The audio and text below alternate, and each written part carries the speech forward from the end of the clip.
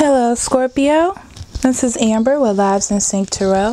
This will be your reading for March 1st through 15th, 2017. Thank you so much for coming back. I've already shuffled and premeditated over your cards. And of course, I'm doing this a little different, as I always do.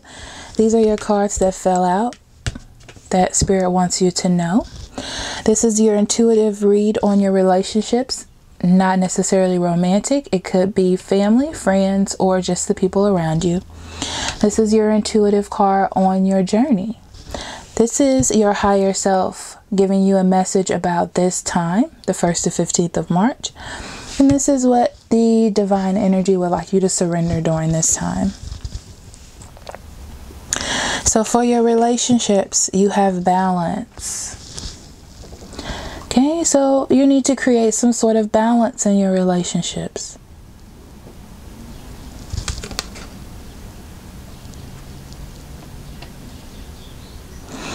I'm feeling more of seeing yourself in others, giving people the benefit of the doubt. And I'm feeling like this is more family oriented.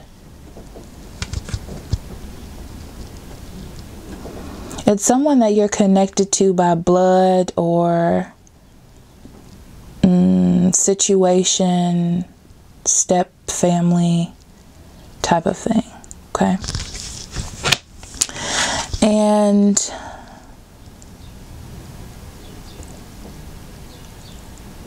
your journey. So, this is a point in your journey, what's happening now for you to spend time with yourself, basically to balance uh, the idea of what's going on, to gain some introspect, some sort of guidance, some knowledge of what's happening, to step back and not speak and be perceptive of what's going on around you or the situation itself, okay? Your higher self is telling you forgiveness. I acknowledge that harboring resentment blocks the flow of love. So let go whatever is going on here. Okay? Don't keep any hard feelings or any grudges. Interesting. Surrender the drama. No matter how emotionally charged the situation, remain calm and don't contribute to the drama. Staying centered will help resolve the issue more quickly. Look at that.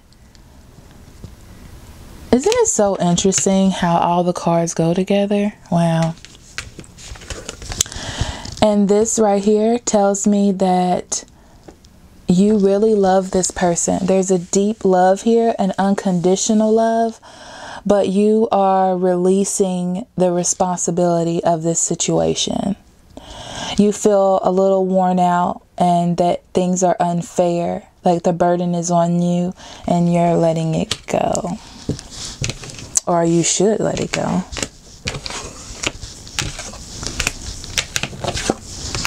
Okay, so let's do your reading.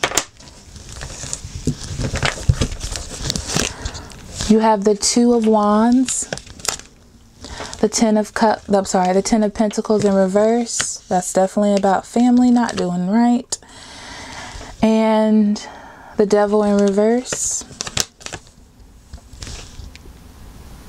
The Fool. The Five of Pentacles in reverse. The Knight of Cups in reverse. Temperance in reverse. The Knight of Wands. The Three of Cups. The Hermit in reverse. The Ace of Wands in reverse. So the overall energy of your reading being the Ace of Wands in reverse, that means that there's some sort of delay to growth. There's some sort of delay to the growth of this relationship or this situation. Some sort of blockage. but it's divinely orchestrated. I don't think that it's a specific person or situation that can be resolved. In your past, you have the devil in reverse.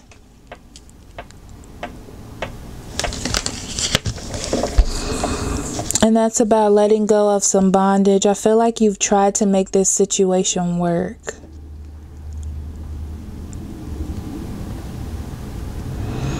And you're kind of letting it go.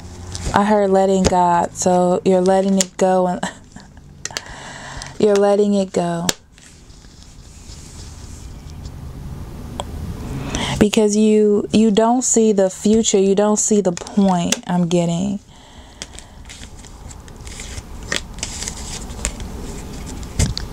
Instead of arguing or being in a bad circumstance, you're kind of just letting karma take control and you've put up a wall around this situation. Okay, so in your current energy, you have the Two of Wands, and that meaning that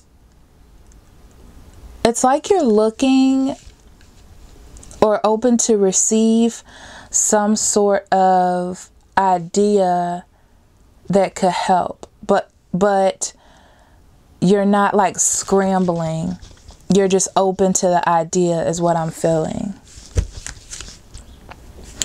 To create some sort of balance you would like to do that but i don't see you scrambling. Your blockage is the ten of pentacles in reverse and that is definitely something about family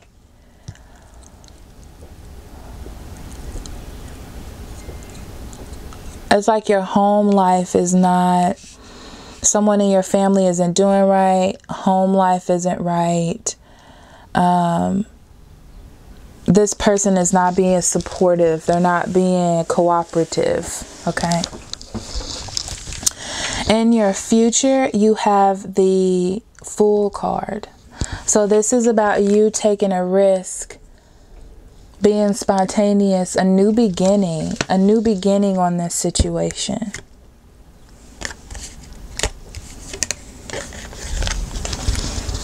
You haven't really made a choice of the on the matter. You don't really know which way to go. You're just kind of going with the flow, I'm feeling. But the sun card is there meaning that you have some hope, some enlightenment. There's possibly some communication. You feel confident about the future. That's really good. That's a good thing. Your hopes are that you can regain this relationship with them on a spiritual level, meaning that you all can go back to the way things were, move forward, okay, that everything will be balanced and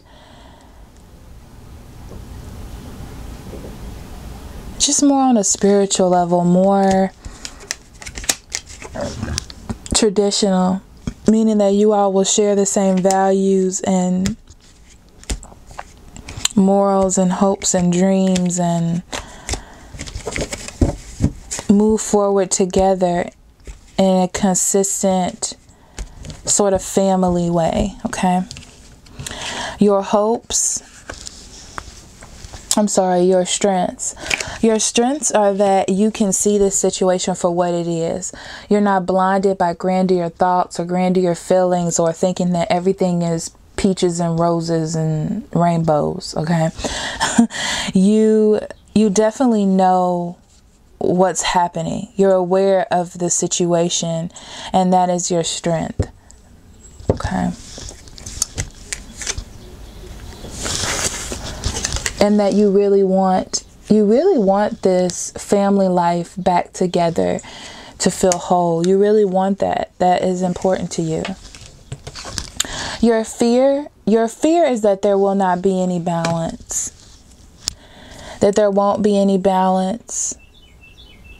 That there will be no long-term vision like um that it'll be okay at first and then it'll go back to the way it was. You don't want that to happen.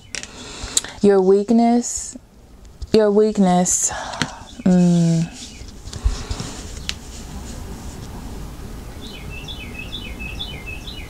this could be you, it could be them.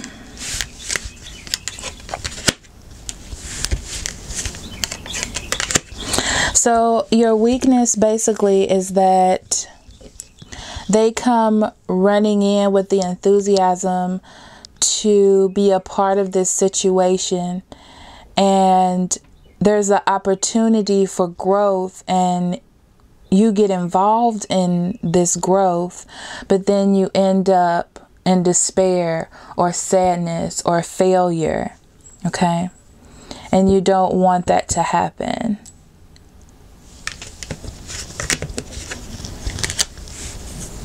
So, your weakness is basically the fear that this opportunity that's being given to you is not what it seems to be.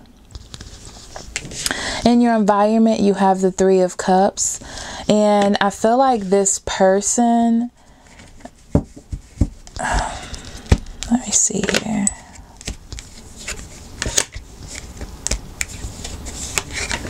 I don't know if this person is a fire sign.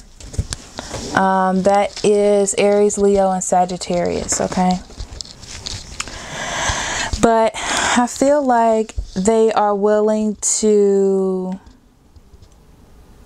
be a part, have a little celebration, get together. Um, but I feel like you're not going to talk about it. You're just going to get together. I'm, I'm hearing like family get together, some sort of family get together.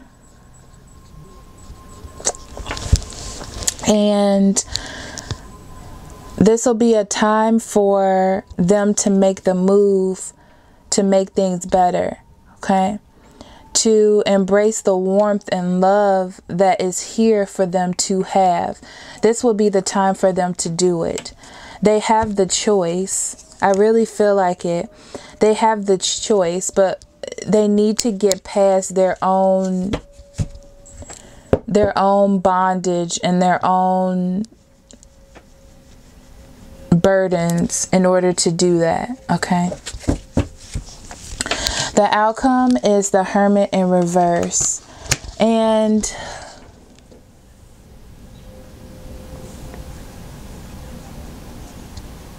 the hermit in reverse is about isolation. So I really feel like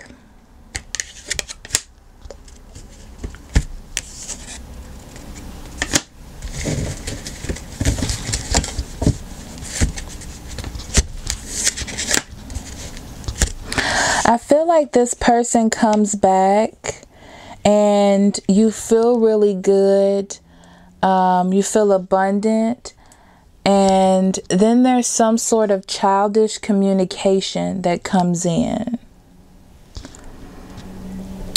And the growth stops. There's some delay or there's no direction. And then you're left to focus on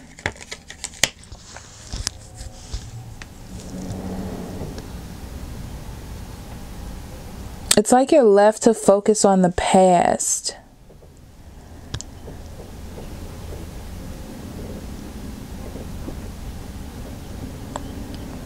And then I feel you get very angry.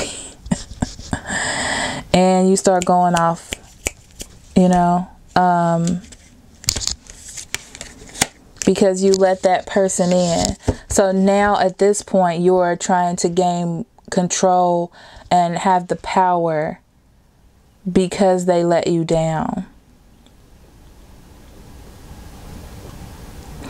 And I get now why this balance comes in and this forgiveness and surrendering to the drama. Okay. So I'm going to leave that there because it is a general reading, so I don't want to go too much into that. Okay, so I'm going to pull an overall oracle card.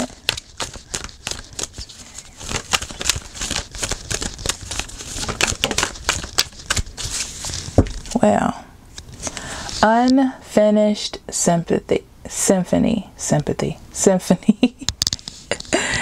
and that is 10.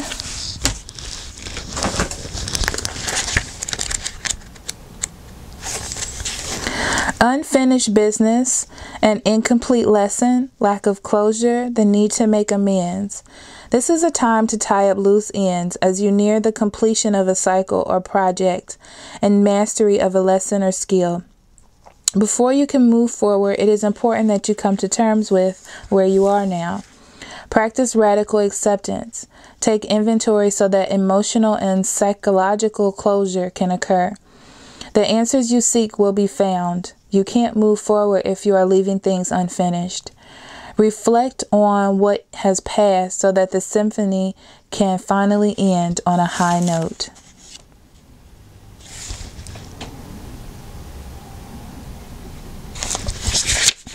Moving on is difficult when love lingers. Things are left unsaid and you haven't had the opportunity for closure in your relationship and in your heart. You can still find, feel bound up in relationships when closure is denied to you. It's important to achieve this for yourself. Write that letter, make that call, or have the conversation over a cup of coffee. For peace of mind, accept matters as they are. Make amends if need be, and declare your feelings, even if only to yourself. Be clear about what was left unresolved and close the door on the past so you can set yourself free.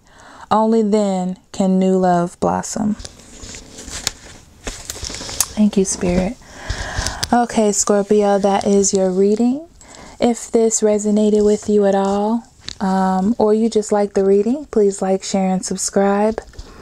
If you would like particular insight on your situation, um, because this was fairly general, I'll be more than happy to do that for you as well. Just follow the information in the box below, and I will be more than happy to do that for you. Good luck on your journey, Scorpio. I love you. Love and light. Bye bye.